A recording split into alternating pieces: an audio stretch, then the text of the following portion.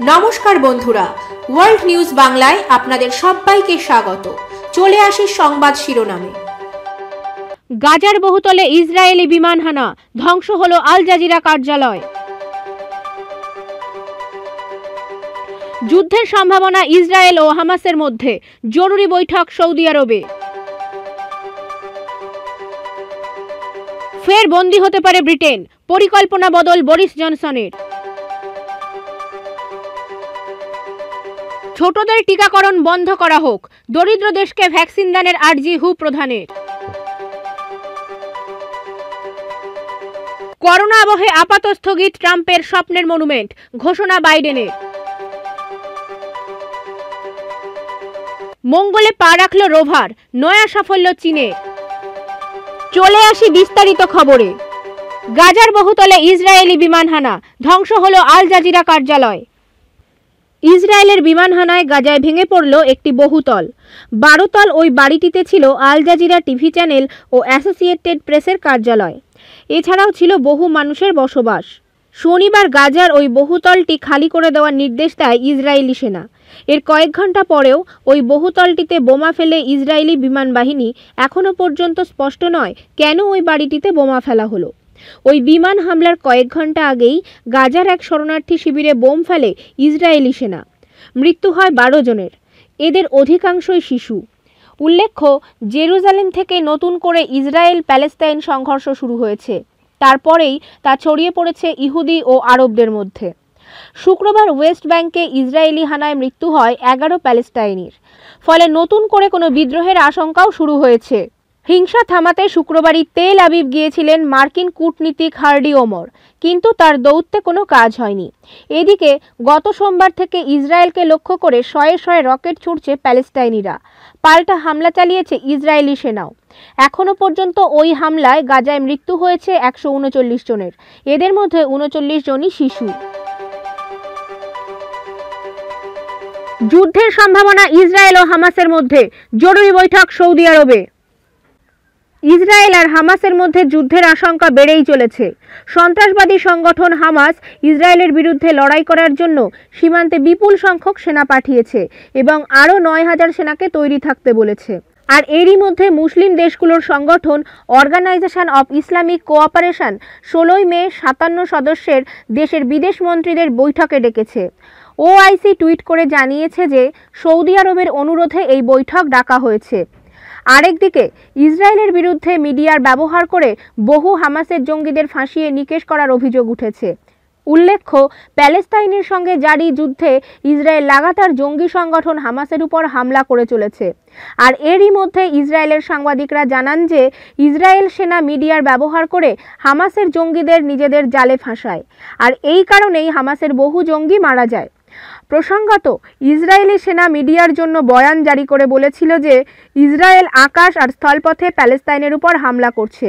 এই বয়ানে গুজব ছড়িয়ে যায় যে, ইসরায়েল গাজার উপর স্থলপথে হামলা করেছে। কয়েকটি সংবাদ মাধ্যম এও বলে দিয়েছিল যে, হামলা শুরু হয়ে গিয়েছে। এরপর ইসরায়েলি সেনা স্পষ্ট জানায় যে, গাজার সীমান্তের ভিতরে কোনো সেনা তাদের নেই। কিন্তু ততক্ষণে বড় বড় মিডিয়া এটা ছেপে দিয়েছিল যে ইসরায়েল স্থলপথে আক্রমণ শুরু করেছে।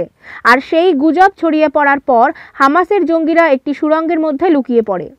সেনা জানায় যে ইসরায়েল একশো ষাটটি যুদ্ধবিমান দিয়ে চল্লিশ মিনিট ওই সুরঙ্গে বোমাবাজি করে। ইসরায়েলের একটি সংবাদ মাধ্যমের জার্নালিস্ট হেলার জানান, ওই চল্লিশ মিনিটে হামাসের অনেক জঙ্গি মারা যেতে পারে। যদিও ইসরায়েল সেনা এই খবরকে ভ্রান্তি বলে উড়িয়ে দেয়। কিন্তু ইসরায়েলের এক সাংবাদিক জানান যে হামাসের জঙ্গিদের নিজেদের জালে ফাঁসাতে ইসরায়েল সংবাদ মাধ্যমের ব্যবহার করে।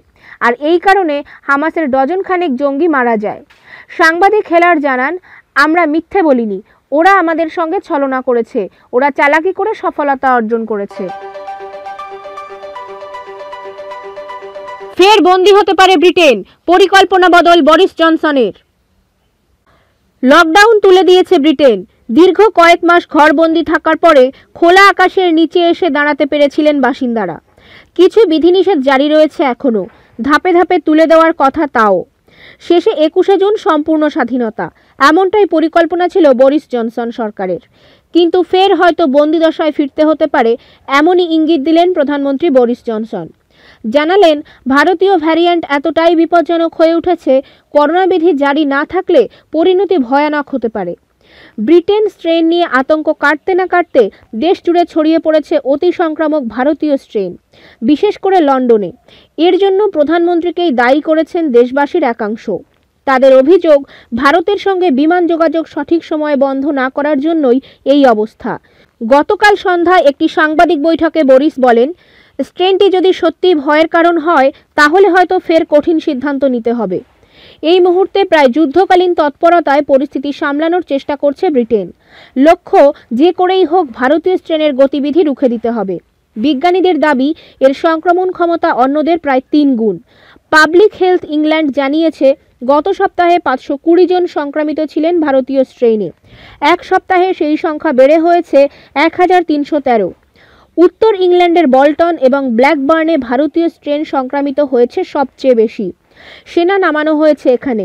তারা ঘরে ঘরে টেস্ট কিট বিতরণ করছেন বাসিন্দাদের আবেদন জানাচ্ছেন যে, বাড়িতে বসেই পরীক্ষা করুন। টিকাকরণের গতিও বাড়ানো হয়েছে এই সব এলাকায়। দিনে আরও বেশি সময় খোলা থাকছে টিকাকরণ কেন্দ্র।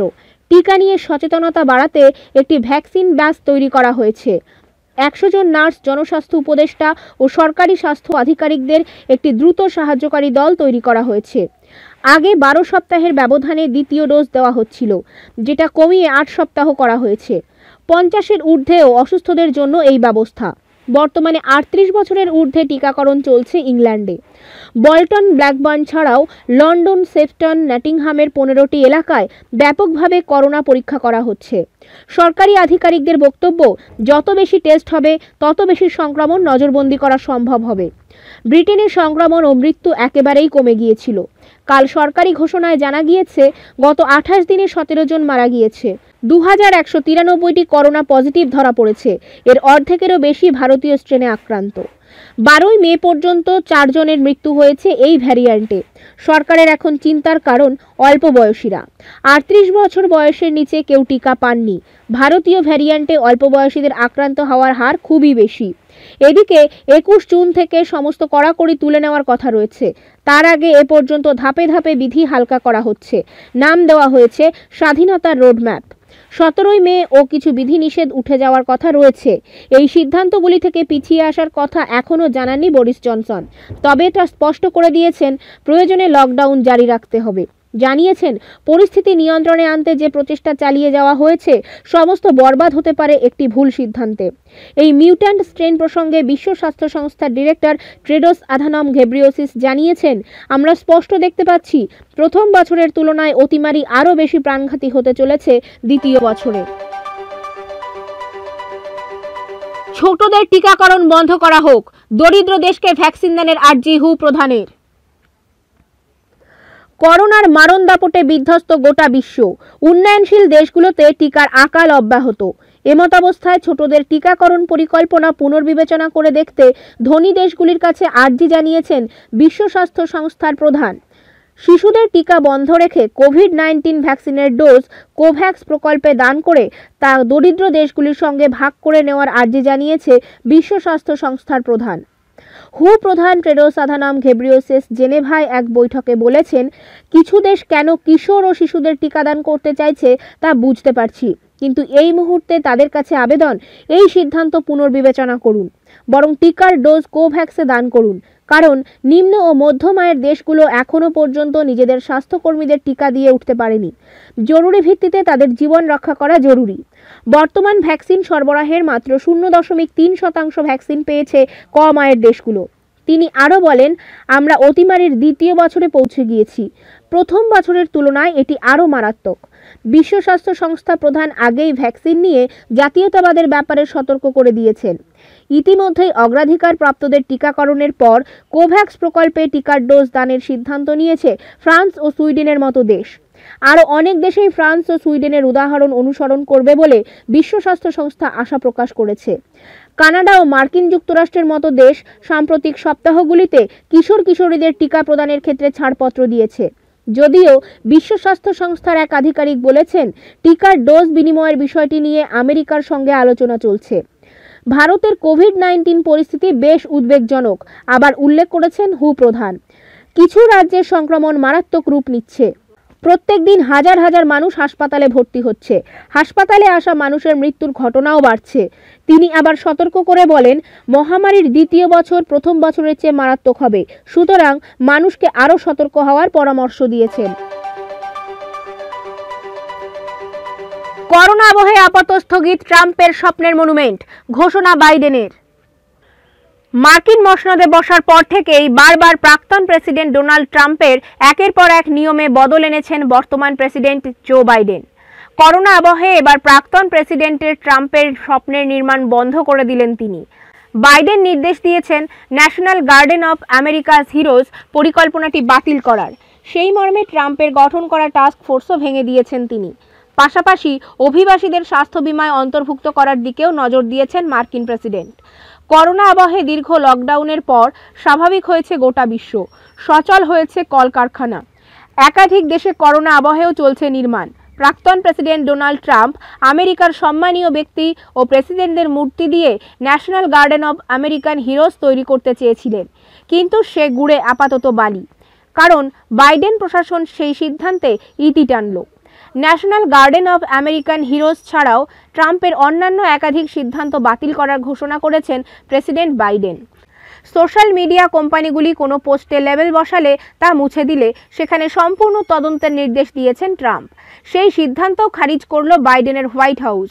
কৃষ্ণাঙ্গ আন্দোলনের পর জাতীয় সম্পত্তি ধ্বংস করার বিপক্ষে একটি কঠোর আইন আনতে চলেছিলেন ট্রাম্প। সেই সিদ্ধান্তেও ফুলস্টপ বসালেন বাইডেন। অভিবাসীদের স্বাস্থ্য বিমায় সুব্যবস্থা দেওয়ার জন্য ট্রাম্পের একটি ঘোষণাও বাতিল করেছেন বর্তমান মার্কিন প্রেসিডেন্ট। এই বিষয়ে তিনি বলেন, আমার প্রশাসন সুগঠিত ও সকলের আয়ত্তের মধ্যে স্বাস্থ্য পরিষেবা দিতে দায়বদ্ধ। মঙ্গলে পা রাখল রোভার, নয়া সাফল্য চীনের। শনিবারের সকালে মঙ্গলে পা। সাত মিনিটের রুদ্ধশ্বাস পর্ব পেরিয়ে প্রতিবেশী গ্রহটিতে সুষ্ঠুভাবে নেমেছে চীনের রোভার চুরং। তিন মাস ধরে সেখানে লাল গ্রহের ভৌগোলিক তথ্য জোগাড় করবে এটি। সংগ্রহ করবে পাথর ও তা বিশ্লেষণ করে তথ্য পাঠাবে পৃথিবীতে। মঙ্গলের কক্ষপথে অরবিটার পাঠানো, গ্রহটিতে ল্যান্ডার নামানো ও তার প্রান্তরে রোভার চালানো প্রথম চেষ্টাতেই এই তিনটি কাজ একসঙ্গে করতে পারাটা চীনের পক্ষে একটা বড়সড় সাফল্য। অরবিটার ল্যান্ডার ও রোভারকে নিয়ে চীনের রকেট তিয়ান ওয়ান ওয়ান রওনা দিয়েছিল গত বছর জুলাইয়ে। সেটি মঙ্গলের কক্ষপথে পৌঁছয় ফেব্রুয়ারিতে। শুক্রবার শুরু হয় অবতরণ পর্ব। নামার শেষ সাত মিনিট বিজ্ঞানীদের কাছেও ভয়ঙ্কর।